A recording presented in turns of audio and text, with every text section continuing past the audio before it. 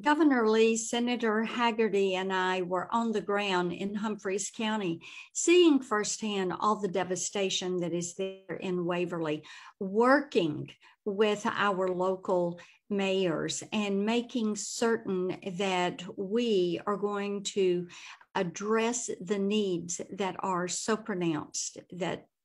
they're really going to need a lot of help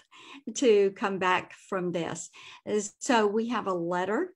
uh, that Senator Hagerty and I, along with Congressman Green and Cooper, are sending to President Biden asking for FEMA to join in with a declaration and also with assistance for the people that have been so adversely impacted by the flood.